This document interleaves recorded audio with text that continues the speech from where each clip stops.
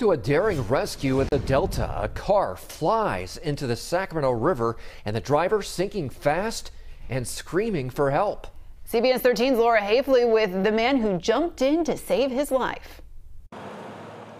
He launched into the water like uh, Mission Impossible or something. A 67 year old man drove into the Sacramento River after CHP says he suffered a medical emergency. There was no stop. He pretty much went full speed into the river. Speeding down Twin Cities Road, crossing over River Road at 50 miles per hour.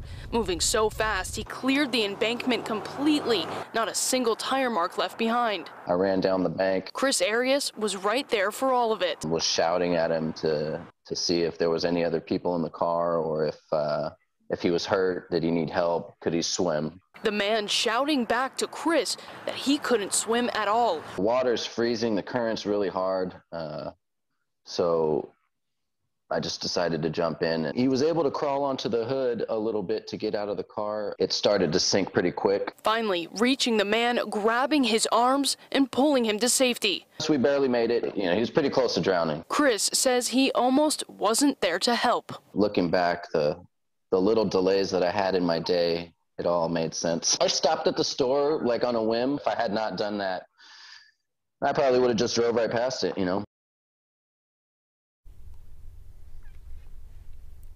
Well, CHP uh, went as far as to say if uh, they didn't jump in to save the 67 year old man, he likely would have died.